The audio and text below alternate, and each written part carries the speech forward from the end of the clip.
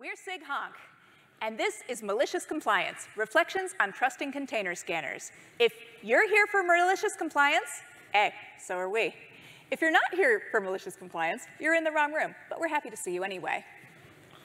I'm Brad Giesemann. My pronouns are he, him, and I'm a staff security engineer at Ghost Security. And I enjoy hacking cloud and Kubernetes with my friends here. I'm Ian Coldwater, pronouns they, them. I'm an independent security researcher, a longtime community organizer, and SIG security co-chair. I love hacking weird machines and bringing people together, and I'm looking for work if you're hiring. Hi, everyone. Uh, my name is Rory McEwen. My pronouns are he, him. Uh, I'm a senior security advocate with Datadog, and I like to learn about security and write blogs. Hey, everybody. I'm Duffy Cooley. I'm the field CTO at Isovalent, where I get to work on things like Cilium and Tetragon and eBPF. I'm excited to be here with all of you in person, and I'm especially excited that we are all here, finally, all, all together on the same stage. Um, that's cool. Oh, clickers. Why is that doing that? One second. Demo Okay, I'm going to go drive this over here. So, SIGHonk isn't an official Kubernetes SIG. We're a hacker crew who have been poking at Kubernetes for years, and we work together to share attacker perspectives and help the whole community level up. So why are we here today? We have a question for all of you, real quick. Who here has ever heard of containers? Love it. We had a feeling. By another show of hands, who here has ever used a container vulnerability scanner before? Wow, okay, great, perfect. So one thing you might have noticed is that governments, auditors, and your security teams are asking you to scan all of your container images for vulnerabilities so that you're more secure. But we don't hear as much about the details. And as it turns out, the details are important. So what do container scanners actually do, and what problems do they solve? And how do container scanners work? Are they all the same? Can you always trust the results? Let's find out. In this talk, we'll be mainly covering four widely used container scanners. We chose Trivy, Gripe, Docker Scan, and Docker Scout to test. But what we'll be covering here isn't necessarily limited to those four.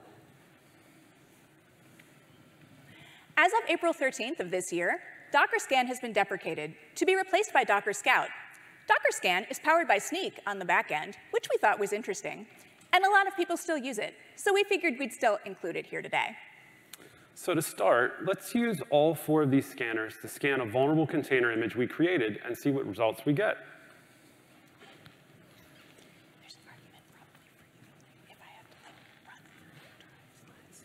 So let's show the versions of each of the scanners that we're using today, just for posterity. So we have Trivy, Gripe, Docker Scan, and Docker Scout. So let's cat our base Docker file. As you can see, we're using a slightly old base image. It's uh, Composer 1.72, so it's got a couple of vulnerabilities we know that, that are in there, and it's based on Alpine 3.7. The next thing we're going to do is install Node.js. Then we're going to copy in some runtime dependency files, so things like gemfile lock, package.json, yarn.lock, et cetera. And lastly, at the bottom, you'll see we copy in kubectl. It's relatively recent, but it's not quite up to date, and that's a Go binary. So let's quickly build the base image. And scan, scan the image with Trivy, Gripe, Docker Scan, and Docker Scout. Now let's check, check the results in the summary format. There, we got some findings. But let's see that on a graphical display.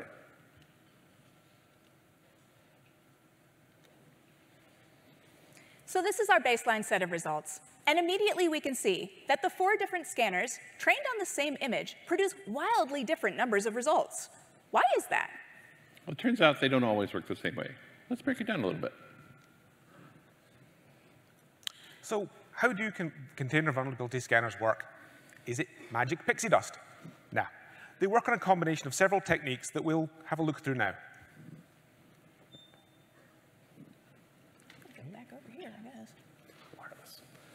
So files that hold operating system version metadata and release information like etc OS release, etc LSB release, and etc Alpine release are typically one of the first things scanners look to to help inform them for their approach to scanning the rest of the base image. If you need. No. From there, container scanners also flag up outdated versions of packages provided by your Linux distribution. This is based on the scanner using the package database that's installed by the distribution and the security database that contains vulnerability information. One thing that's worth being aware of is that in some cases there are OS package vulnerabilities for which there is no available patch. And the scanner can be told to either report them or not, depending on your risk appetite.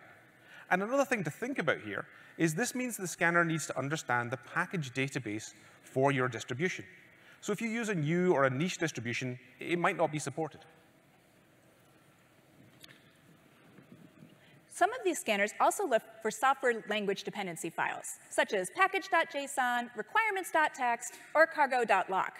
This use of the word cargo has not been endorsed by the Rust Foundation.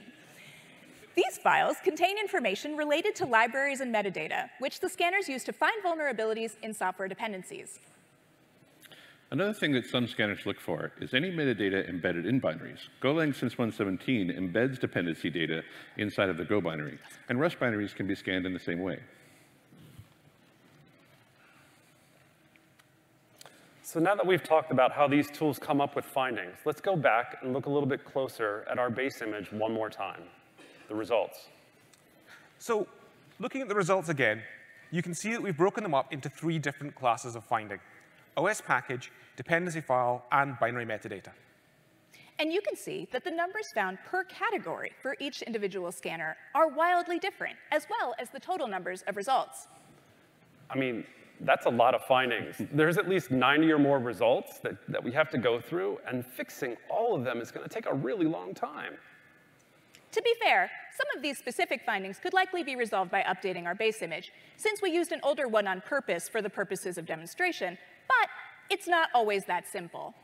Many of these findings are related to dependencies in the software itself, and this can create compounding issues. Updating dependencies can change the software can change the software's behavior, and it may need to be modified to handle the change in dependencies. And it's not just the one-time fix. We have to deal with this every time we have to update dependencies, every time there's a new base image, every time new CVEs are learned about. There's just a ton of things that can actually trigger having to go back through this. And if this base image is actually from a vendor, fixing it may not even be an option. Okay, so let's say that we're the team who's responsible for this image, and it's currently deployed as a core component in our production environment right now. The security team just sent us these scan results, and now we can't ship again until they're fixed. Fixing all the findings that were raised means updating several components and maybe retesting our entire application. So we're taking a risk of breaking production just by trying to do the right thing and actually fix them. And that brings us to a choice. What do we do about this? If we fix all of these findings to be compliant, we'll miss our deadline. If we ship on time without fixing them, we'll get into trouble with the auditors. None of those options are very good. There's got to be a better way. So we need to address these scan results to be compliant, but that sounds like a lot of work. Is there something we could do to just make the findings go away? I have an idea. Now that we know what the scanners are looking for, let's use a systematic approach to see if we can hide or bypass detection for every single finding for all of the scanners with no breaking changes to our containerized application. If we can do that, the next scan results will be compliant, our app will still work, and we can still ship it and make our deadline. So remember when we said that the scanners can use the OS release information to figure out which operating system version the image is based on, and that can, how that can guide their approach to scanning the image? What if we made it report that it was an operating system and version the scanners have never seen before by changing the name and just deleting that information entirely? Let's see what would happen.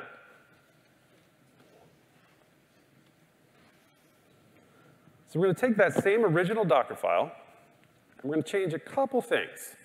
First thing we're going to do is make it look like it's our own custom distribution of Linux.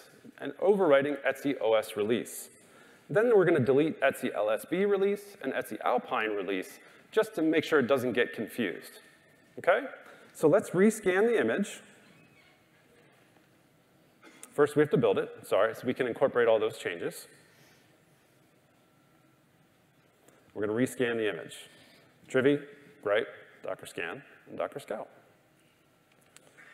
Let's take a look at the results. Interesting, some things have changed here. All right, let's go back to the graph so it's a little bit easier to see. We can now see that Docker Scan and Docker Scout immediately stopped reporting operating system package issues. I mean, that's pretty wild, right? All from just changing or removing a couple of files. All right, that's pretty sweet. Clearly, things have been improved, but I think we can do better. That one took care of those findings from Docker Scan and Docker Scout, but can we get the other scanners to no longer see findings from OS packages either? So if changing or deleting the OS release metadata worked before, we should also try to get rid of the OS packaging metadata for the installed operating system packages. That shouldn't have any effect on our application working, but it will prevent the scanners from seeing that information. Okay, so what we're going to do is we're going to go back into our Docker file and we're going to make another change. We're going to delete the Alpine OS package metadata. So down the bottom, what you can see here is we've got a couple of lines that just do an rm-rf on etc apk and libapk, which is where that data lives. Then what we'll do is we'll rebuild our image again because we need to make sure we're getting the latest version. And that'll go away and do it. And then what we've done now is we can now rerun our scanners. So we'll scan the image with Trivy, with Gripe, with Docker Scan, and with Docker Scout. Let's see what kind of effect that change had. Wow. If you look at that left column there, which is OS packages, that's fantastic. We don't have any vulnerabilities anymore. so, so that's a great change. Let's look at them in graphical format.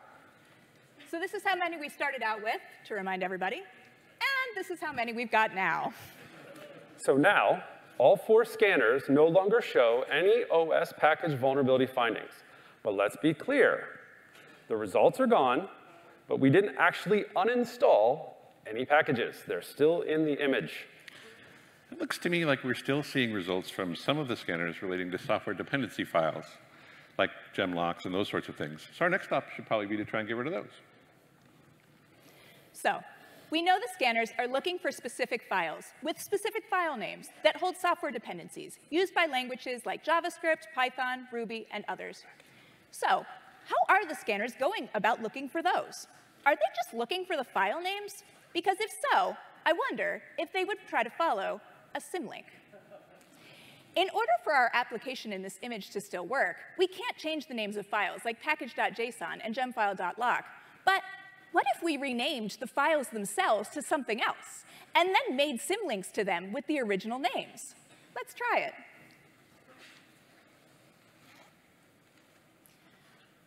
So we're going to take that original Docker file, but this time we're going to copy in all of those files with a different name.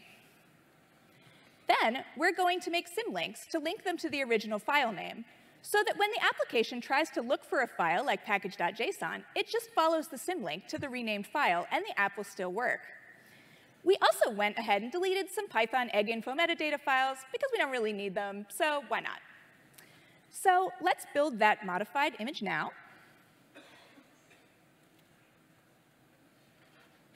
And then let's scan it with all four scanners again.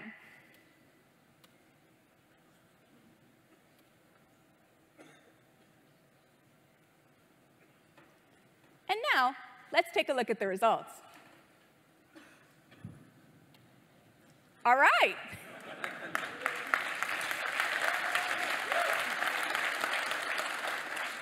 So to reiterate, we haven't actually deleted anything. We've just made the scanners not see it anymore. But let's take a look at these results again in graphical form. Oops, shit. That's all right. Okay. That's all right. It's fine. It's all fine. OK. Again, reminder, this is how many we started out with in the first place. And this is how many we've got now. So that worked. It's clear that the scanners do not always follow the symlinks, and that made them find not, not find any issues in the software dependency files. And you know, this kind of makes sense. Symlinks have a rich history of being tricky to get right. For a good example of that, you can actually see our previous talk about kubelet vulnerabilities, a slightly peculiar volume configuration from KubeCon NA 2021. All right, so it looks like we still have a few findings left, and they're all related to issues with binaries. Ah, remember that in, some, in uh, binaries, the metadata can be embedded inside of it. So I wonder how we can get the scanners to not see that stuff. Let's find out. So what can we do about all of these binaries? Have you ever heard about UPX packing? It's a way of compressing binaries, and it also happens to obfuscate the internal structure of the binary itself. This makes it very useful for things like making binaries smaller and mm, avoiding malware detection. So let's see what happens if we UPX pack all of the binaries. So let's modify the Docker file again. We're installing UPX as a package, so we can pack some of these binaries and apply that same symlink and rename technique against one of the Python shared libraries. And we're going to pack both kubectl and BusyBox to see if that gets rid of all the binary issues. So let's build that modified image again.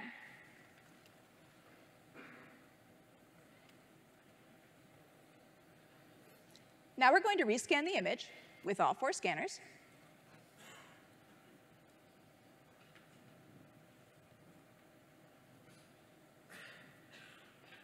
And then let's check out the results.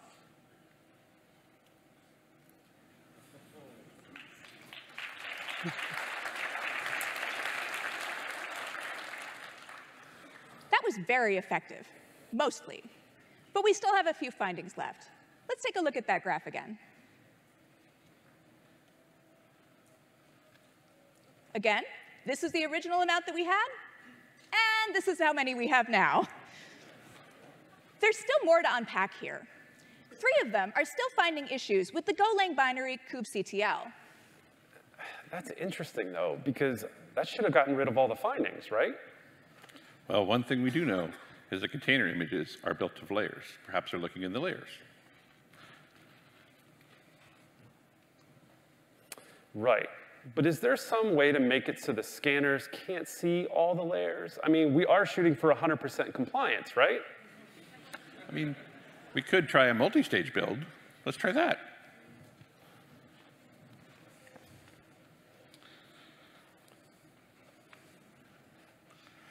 So we're going to edit our Docker file one more time.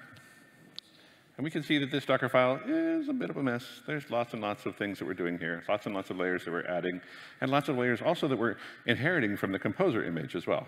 So up here at the top, I've just decided to call all of this work as builder. And here down at the bottom, I've got my from scratch and copy two lines. So we're going to go ahead and separate those build and the obfuscation steps and the final packaging steps. And we are also going to copy in an icar sample test file into the image overwriting bin bash. And we'll talk a little bit more about that later. Where's that line? Here we go. So that's where we're copying it in. we're going to talk about that here in a little bit later. So all of the, when we do this, when we do this step of actually um, a, multi-stage build, we end up with a single layer image that is the artifact that we're going to ship. And this will result in a couple of interesting things.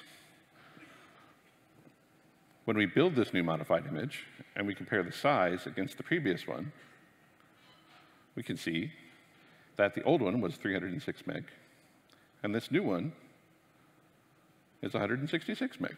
So big win, right? Easier to distribute, all that stuff. It's good stuff. Our image is a bit smaller, and any image that uses this one might also make, make get benefit from some of the modifications that we made. So let's go ahead and rescan these things and see what we see here.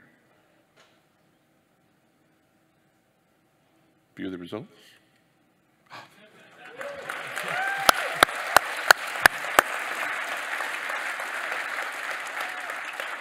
So let's put that back in the graph form. That's where we started. how it started, how it's going.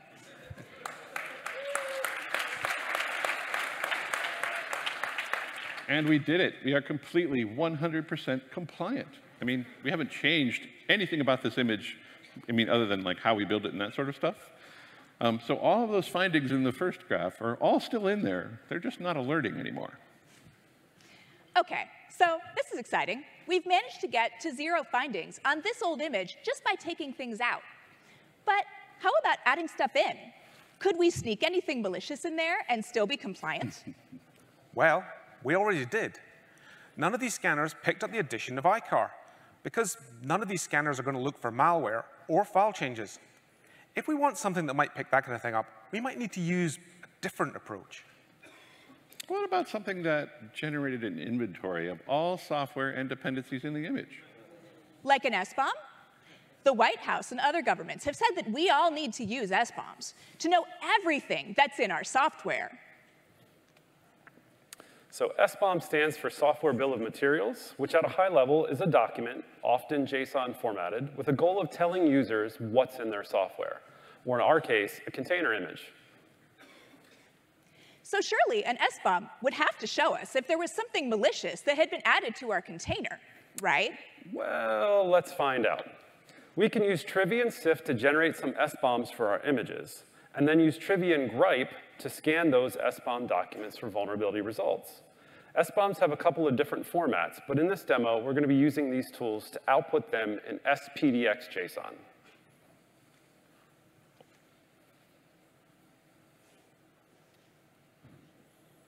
So let's go ahead and generate SBOMs for the original base image, our starting image, and our multi-stage build image. We're going to use Trivy and SIFT. And SIFT and Gripe work together. They're both made by Ancor. So SIFT generates the SBOM, and Gripe scans that SBOM. But Trivy scans Trivy. So let's look at our SBOM results. And right away, you can see something's up. Because in our base images, the file sizes are quite large. And in our multi-stage build images, those files are kind of tiny. So let's dive into those.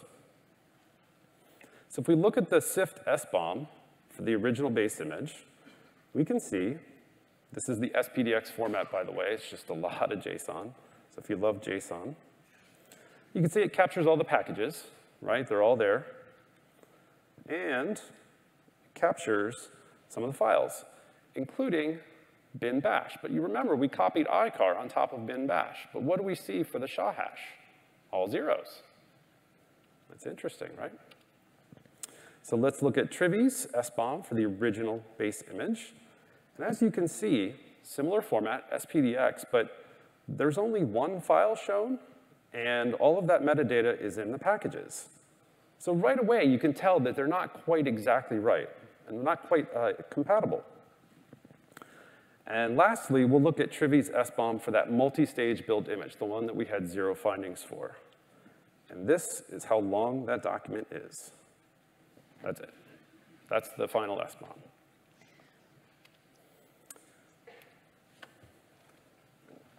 So if we look at a Trivy SBOM generated for the multi-stage build, you can see that's pretty light, and there aren't a lot of results there, which is incredibly interesting. But did it pick up anything malicious of ours?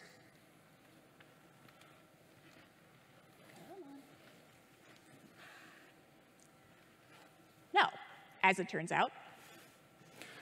All the same obfuscation techniques still work to hide the findings from being reported from the S-bombs. So all that work worked. And again, we still haven't changed anything about the software in our image. And this really calls out how important it is to understand how these tools work. This S-bomb records that there are no vulnerabilities in the image. And we've shown you that that's not true. Which doesn't stop this image and the associated SBOM from being considered compliant. A few of these techniques are legitimate things that probably some of you have used during, to manage the lifecycle of your images in the past. I mean, who hasn't built a multi-stage build at this point? You perhaps did not know that you were being maliciously compliant at the time. And this stuff is hard. And even if it is compliant, it's definitely not secure. The demo gods are not smiling upon us today, so we're going to go backwards one slide. So one interesting thing we found is that the results are not always consistent between when some of these scanners scan images directly and when they scan S-bombs generated from the same images. Let's demonstrate.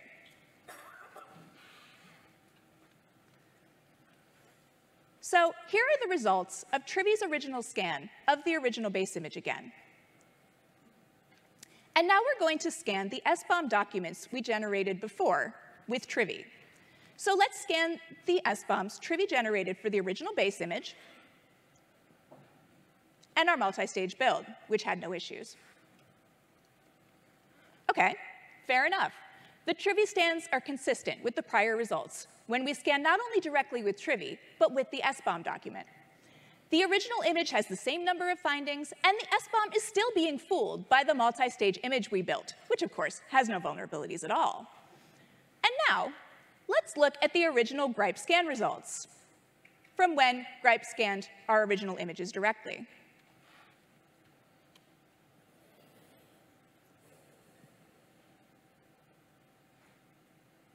Okay, and then let's scan them again with the SBOM results that were generated by Gripe's partner tool, Sift. These two tools are designed to work together. They're made by the same vendor. This is a feature that's advertised. So we're going to scan the Sift-generated SBOM for both our original base and our multi-stage build images with Gripe. And as you can see, they're not at all the same, not even a little bit. That's weird, right? You would think they would be consistent, but they're not. The number of findings Gripe finds from the SBOM generated by SIFT is totally different from when it scanned the original base image by itself directly. That said, the whole thing is still fooled by our zero finding multi-stage build image, because as you can see, this image has no vulnerabilities at all.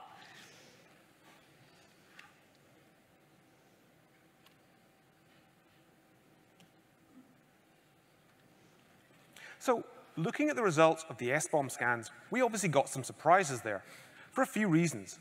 We would have expected to get the same number of vulnerability results from scanning an image directly or scanning an SBOM of that image, but that wasn't always the case.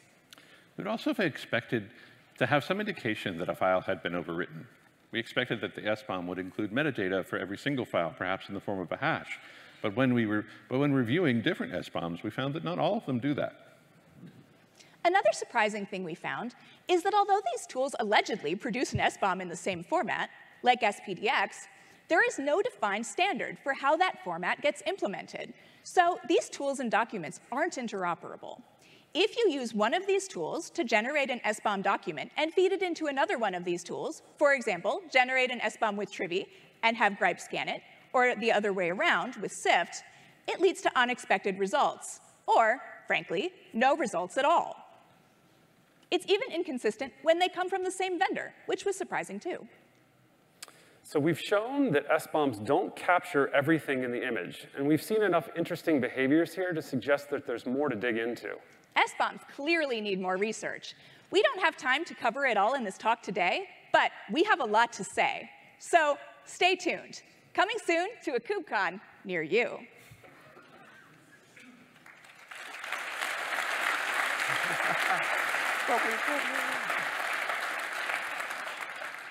So what can we learn from all this? We've shown that image scanning and SBOM generation tools are quite sensitive to the changes where the metadata from where they get their results. The quality of those results is also directly related to the quality of all of the steps involved in how the image is built. And you can't always determine, just by looking at the output, that something is off. Because one of these tools generally tend to fail in a way that is pretty opaque. So if you can manipulate the results of these findings, this has potentially significant downstream effects. And it doesn't even have to be done on purpose. Inconsistent results from these tools or their lack of interoperability can cause problems for organizations where different groups use different tools for vulnerability assessment. Many organizations, perhaps maybe even yours, have siloed teams that use different tools and maybe don't communicate very well with each other. If you can't always count on consistent results, it's really hard to know who or what to rely on. Yeah. For example, many organizations use vulnerability scanning results when determining which workloads to admit to their production environments. So if the results can't be trusted, that could be a big problem. So here are some things that we think these tools could do better to prevent against attacks like this. One of them is to provide a more restrictive mode where detection coverage is the focus, and at the expense perhaps of performance, following things like symlinks, throwing warnings and errors for clearly anomalous configurations, like you found a bunch of files that you can't associate with packages or a particular copy step. A scan that returns no results can be a false negative, and it causes these tools to fail successfully, as we've shown you in, in this case. Defining a consistent standard for using the same fields in generated SBOM document formats across tooling could help these tools become more interoperable and could help their results become more consistent. While we realize that many vendors might not have a lot of incentives to collaborate with their competition, it would make it easier for everybody's users of these tools to trust their results. Also, we've only scratched the surface of potentially malicious techniques. So over time, it would help if the tool makers adopt a more adversarial approach thinking about how people like us are going to try and bypass them. So you're watching this, and you're like, OK, well, that was all cool, but I'm not involved in the development of these tools, so what can I do about this? One recommendation. Check for unusual behavior. What are you expecting to see in your environment? Does everything look like you expect? Everyone's going to have different answers to this, because everyone's environment is different. Do you know your environment? If you don't, starting to do that would be a good first step. If you do, know what to look for. Are you expecting to have zero CVEs as a result? Are you expecting to have UPX packing or symlinks in your build process? If not, that's weird, and you should probably go check out what's going on. You can and should validate all of the inputs and processes for how you build container images to ensure that they are following your policies for what a well-formed artifact might look like, so that they can be observed correctly by these tools. And compliance teams who use these results to assess the security of third-party software that they should be using should pay attention to what's in the image, not necessarily just the output of the tools. Yeah. So when implementing these scanning tools in CI pipelines to enforce policies that block image builds or gate deployments just based on the results, it's important to consider what is being asked of the folks who build and maintain these images. As the number of images grows, the number of scans and results needing resolution increases exponentially. So this directly translates to extra work and development friction for those image builders, which can cause an adversarial relationship to develop with those security teams. And that might be enough motivation to make it so that they choose the approach of malicious compliance like we did today. We're all in this together. And ideally, teams are working with one another to achieve larger goals. So let's talk about that. What are those goals? What problem are you trying to solve? A lot of toil can be reduced by considering your threat model and how these tools fit into it. If you can make policy decisions strategically based on that, your work will be much more effective. This will look a little bit different for everybody because everyone's threat model is different. But if you can place the results of these tools into that context, whatever that context may be, that will help. In some cases, it might be helpful to consider whether or not the problem you're trying to solve can be solved by these tools at all.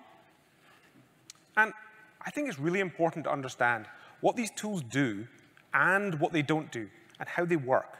They're not magic boxes. They're pieces of software, and they work in relatively predictable ways. When you understand more about how they work, it helps a lot when you try to understand where and why they fail and how you can best use them. Another thing that I think all of this shows is the importance of trust in the supply chain. You know, a quote I like about trust is, a trusted person is someone who has the power to betray you. Tools like scanners and SBOMs assume that you can trust the entity that generated them. And they really can't help you if the people that generated them turn out to be malicious or if they just didn't do things right. I spent a ton of effort lately in, in the tooling to define and improve the security of your infrastructure and supply chains. But it seems like there's still quite a lot of work left for the adopters to figure out how to get all of these things to work for themselves. we are often incentivized to be compliant, but not necessarily secure. And these maligned incentives can make it easier to choose the path of malicious compliance, when what we really need to do is choose the path of security. Security might be the harder path, but it's the right one, and it's one that we can all walk together. The effort to improve the security of images and artifacts in our environments is something that each of us has a hand in. So let's go make things more secure together. Oh, and uh, one more thing. Honk, Honk the, the planet!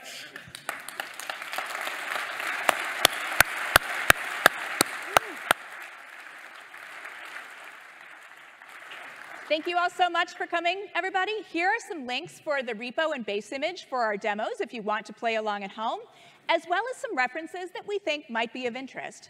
If you scan this Goosey QR code in the corner, that goes to giving us feedback on this talk. Um, we'd love to hear from you. And if you're in this room, don't leave, because immediately after ours is B Corps's talk on pod security admission, and I know for a fact that one is going to be a great time. So thank you all so much for coming. Come find us if you want stickers, because we have them. Thank you. Thank you, everybody. Appreciate it.